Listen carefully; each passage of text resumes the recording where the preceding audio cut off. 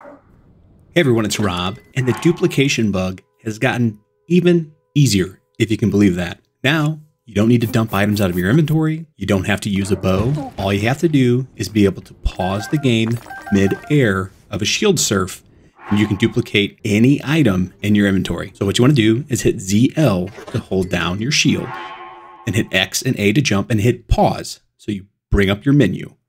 Then pick any five or any item you want. But you know, if you want to duplicate as many as possible in each go, go ahead and select five.